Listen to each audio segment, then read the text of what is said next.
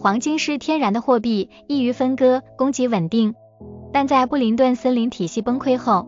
又普遍性的在各国不具备法币地位。黄金价格的涨跌，实际上源于潜在利益主体对现有法币的不信任程度。现有法币贬值趋势越强，实际利率越低，法币体系运行不确定性、地缘政治、居民部门信心等因素越高，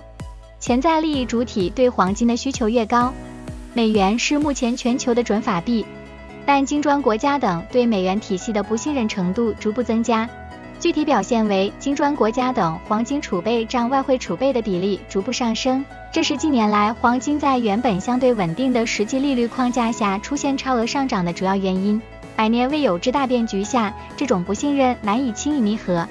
但需要注意，这一过程本质上就是是压迫者与反抗者国运比拼的过程。而时间最终究竟站在谁那边，